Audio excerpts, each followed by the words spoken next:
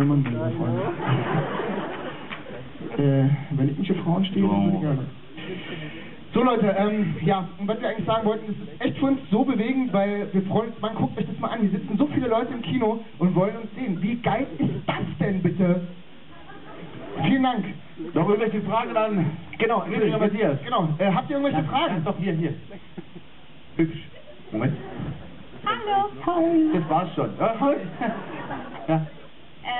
Glaubt ihr, dass es möglich wäre, sowas heutzutage noch zu machen mit 55 Dollar? Also in unserer Zeit jetzt. Das ist eine Frage an dich, Friedrich. Ja, das geht sogar mit nichts. Aber da bin ich mir sicher, das geht sogar mit nichts. Definitiv, na klar. Glaubst du nicht? Gib mir nochmal das Mikro. Gib mir nochmal das Mikro. Glaubst du das nicht? Das geht nicht? Ich weiß, dass mein Schülerfreund hat gefragt, der möchte es nämlich machen diesen Sommer und er ist sich unschlüssig, ob es geht. Hau rein! Ich sag, fahr dahin, guck dir das Land an, das ist der Hammer. Fahr von Osten nach Westen, und zwar von New York nach San Francisco. Das ist der absolute Wahnsinn. Wir sind zusammen 16 Stunden im Auto gefahren von Albuquerque nach L.A. und es war ein Traum. Es war ein Traum. Mach das. Ja, machen wir ein bisschen Geld in der Tasche. Nein, wirklich, freut mich Matthias? Lieber Freund.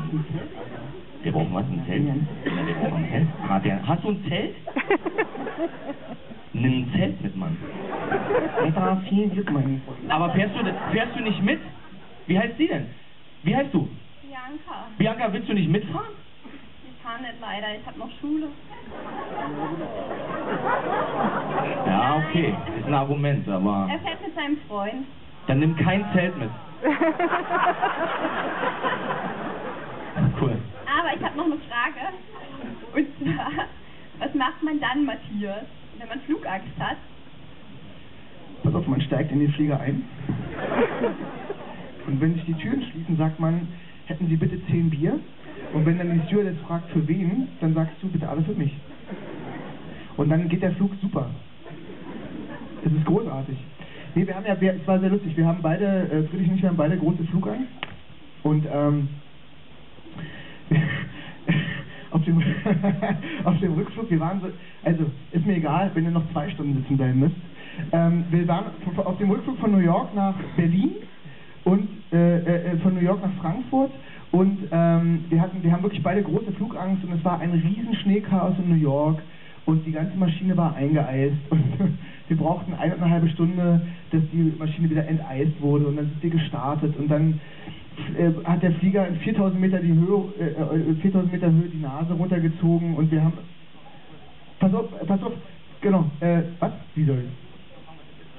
Achso, äh, ja genau, und dann, dann äh, auf 4000 Meter Höhe wurde die Nase runtergezogen. Wir dachten schon, warum fliegen wir jetzt hier 20 Minuten über New York, was ist los? Und dachten schon, wir sterben alle und wieder auf 8000 Meter Höhe Nase runtergezogen. Der kam nicht auf 10.000 Meter Höhe und wir waren total aufgeregt und ich dachte so, ich quatsch mich an. Friedrich angeguckt, Friedrich nur so, Vater und bitte wissen. Und ähm, dann irgendwann flogen wir auf 10.000 Meter und es machte einfach nur die, wirklich drei Stunden.